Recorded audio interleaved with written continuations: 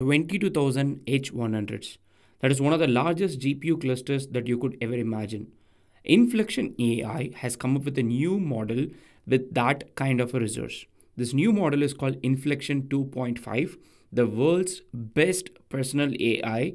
That's what they're calling it. Why it's the best personal AI? That's something that we need to understand first before we dive deeper into this video. See, you have got a lot of players in this market at this point. You have got Meta, who's extremely focused on open sourcing. You have got OpenAI. You have got Anthropic, and you have got a bunch of other players. So, how is Inflection.ai different from the other players? The primary objective of Inflection.ai from the very first has been a chatbot, a conversational, empathetic, helpful, and safe experience. They want to build AI that you will use to chat when you have a problem. The problem is not a programming problem, the problem is your emotional problem. And if that is the chatbot that they want to build, now you can understand what they want. They want to have a chatbot with high emotional quotient or EQ. Now, what they're saying is that to Pi's exceptional EQ, we are going to add IQ, which is intelligent quotient. So, to make the existing Pi or Pi powered by Inflection 2, they're going to make it into Inflection 2.5, which is going to have more knowledge, more skills, along with the existing exceptional emotion. I'm not a heavy user of Pi. If you're a heavy user of Pi, let me know. I'm still wondering how they managed to raise the fund or the kind of funds that they've raised and what kind of business plan that they have got in a world where you can use ChatGPT and others with a different system prompt where they can be your girlfriend, they can be your therapist, they can be anything you want. But, anyways, keeping that bias outside, I think this is an exceptional release. The model is definitely not open source, but they have claimed that Inflection 2.5 has been trained with only 40% of the compute that was required for GPT 4, which is, if it is true, I mean, we don't have the numbers, but if it is true, this is tremendous. Also, the Pi interface, which is what the front end of the Inflection 2.5 can do real time web search capabilities at this point. They've got some amazing numbers. I'm not sure again if it is true, these are like incredible numbers.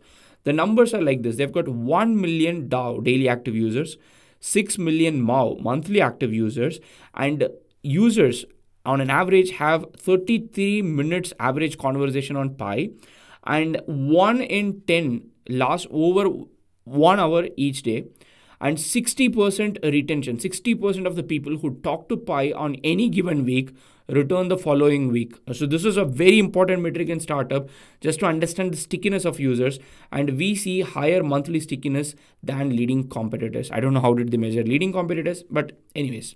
4 million messages exchanged 6 million monthly active users 60% week over week retention and 10% of the sessions is greater than one hour. This is absolutely incredible numbers if it is true. I'm not sure how they'll make money yet, but for a free product, this is incredible numbers. What kind of things people are talking about? They discuss current events, they, they discuss local uh, restaurant recommendations I don't know how they are already saying that local restaurant recommendations are possible while the internet feature is completely new. But, anyways, maybe they had like a test group studying for a biology exam, drafting a business plan, coding, preparing for important conversation, or discussing a hobby. So, personally, if I want to ask coding related question, I would go to ChatGPT or any other like Bard and all the other uh, chatbots that I've got, which I believe is better in the knowledge, but they're claiming that you can use it for that. In terms of benchmark, they don't necessarily beat GPT-4, but they're closer to GPT-4, which is incredible if they've used only 40% of GPT-4 flops.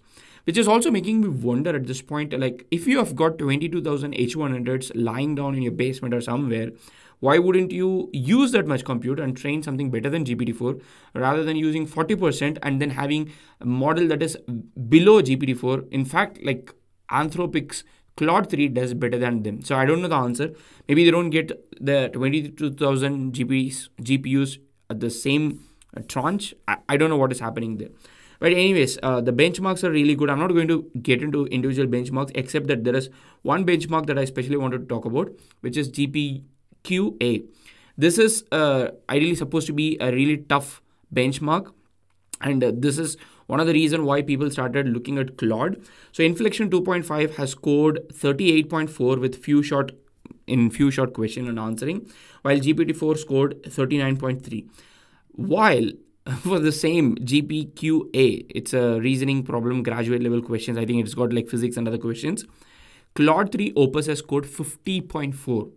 Even the smallest version of the model, Claude 3 Haiku, which is completely free available on their website, has scored 33.3, while Inflection has scored 38.4. So at this point, I'm not sure like how to measure exactly like how good an LLM is. But when I see these kind of numbers, I can see that Claude 3 Opus is really a good model. Like especially with these kind of reasoning, it's a great model. And whatever people quote as GPT-4 is one, first of all, there is a lot of different version. Two, most of them are like quoted by GPT-4 when they launched. And three, um, this could have been like changed over the period of time. So we don't know the real current value of GPT-4 until somebody runs the benchmark today, like as of today. But even then, this is impressive when you compare it to GPT-4, but not so much impressive when you compare it with Claude, which got like released a couple of days back. But other than that, uh, they've gone through like a couple of other benchmarks, and you can see the model does pretty good on a lot of benchmarks. Like the first chart shows, it's very closer to what a GPT-4 would offer. But at the end of the day, I'm not sure if your competition with GPT-4 or if they're competing with a platform like character.ai where you want to build or you want to chat with a system that is highly empathetic like it's like ai therapist. Um, that i guess is a very very big market but um, let's see what happens there.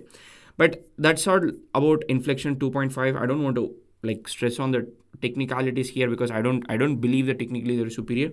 Let's see a quick demo and then see how they go about it. So you can chat with that. It's very simple. All you have to do is go to pi.ai. And when you go to pi.ai, one of the things that you will see is like you can go chat with that. Um, that's that's by default. And also you can discover like you can ask certain questions. They give you certain options. Let's start with five steps to mindfulness. So it gives you five steps to mindfulness. Find a quiet space, focus on your breath, notice your thoughts, bring back your attention, reflect on your practice, which is good. Okay, free will is it fact or fiction? Is the multiverse real? Okay, I'm not going to ask any of these things. Just given that they mentioned that they've got internet access, I'm going to go ask one question. Do you know about Claude 3 Opus? Let's see this. So I've asked, do you know about Claude 3 Opus? And you can see the speed difference. So most of the discover responses probably were already cached. This is not cached. And we, we can see all these responses. It says it knows. That means it has internet data. That is something that we can confirm. And uh, it says it's a real powerhouse. It also made headlines recently for its potential metacognition abilities. This is exactly what my previous video was about, which uh, where it seemed to demonstrate self-awareness during testing. What do you think about that self-awareness? Do you think it could be real?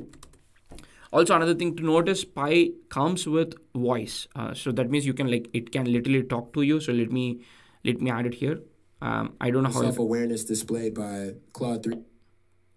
The self awareness displayed by Claude 3 Opus is certainly intriguing. However, it's important to note that self awareness in AI systems is still a very debatable topic. Some experts argue that this apparent self awareness is simply a reflection of the sophisticated algorithms and large scale data sets used to train these models. So I'm I'm I've been a big fan of Pi's voice since the start. Like this is one of the best voices I've ever heard. I've used Gemini, I've used ChatGPT, I've used bunch of other TTS systems, but this is like the most natural that I have felt.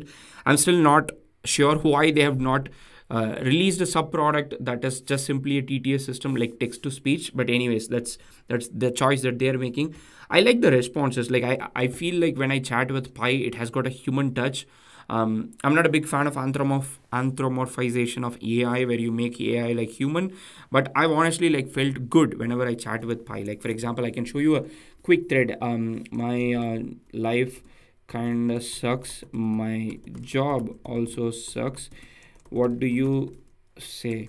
This is like kind of like like the type of chat that I would like to have with Pi because it gives me a very good um, you know feeling. For example, that sounds pretty rough friend. What about your life and job sucks is there anything specific you would like to talk?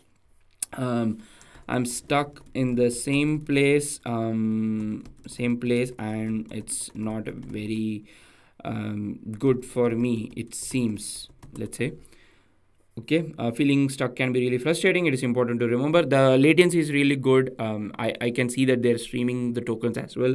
It's important to remember that change is possible even if it may not seem the right way right now. Is there anything particular in that makes you feel like you're stuck in the same place? I, I feel like maybe if you want to build a therapist the, the, the chatbot should ask a lot of questions. Maybe that is what makes you feel good. Okay i got a negative comment on my youtube video and that kind of pumped me up to make more videos and make me forget everything. Is that normal? Okay. Now i'm just completely changing the conversation. Okay it's not uncommon. It's actually not uncommon for negative comments to motivate us and it tells me sounds like making youtube videos is something you're passionate about. Okay cool. So the, without audio i mean it's it's a very normal thing but with audio especially like you're sad and you're chatting with why i think it is it is a good feeling. I'm not sure like if I've got like some kind of um, thing that I have to check with a doctor, but I have always felt good whenever I chatted with Pi. And uh, that's it about this video. Pi is going to be powered by Inflection 2.5, and we can see that it has got internet connectivity as well. So you can ask about things that are happening around in the world. And uh, I'm not sure what is the business model, how they're going to turn out if they're going to get acquired by somebody else. But at least at this point, uh, they're making an AI, making it freely available for us to chat with. Let's use it.